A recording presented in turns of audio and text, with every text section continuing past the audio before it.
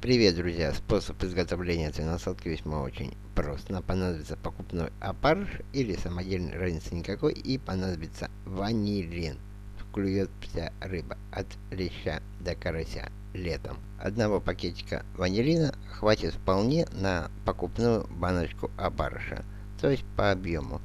Если добавите два пакетика, в принципе, хуже не будет. Ну и лучше, в принципе, это тоже не будет. То есть Клевать лучше, если вы добавите 2-3 пакетика, не будет. Достаточно вполне одного пакетика ванилина, то есть высыпаем ее в баночку к опарышу.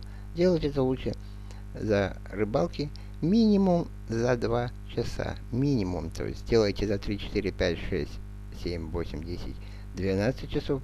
Хуже не будет, будет только лучше. Так же как за сутки или двое. Покупного опарыша вы можете купить в любом рыболовном магазине, а ванилин вы купите в любом продуктовом магазине. Стоит он всего 6 рублей. Может у вас подороже, может быть чуть-чуть подешевле.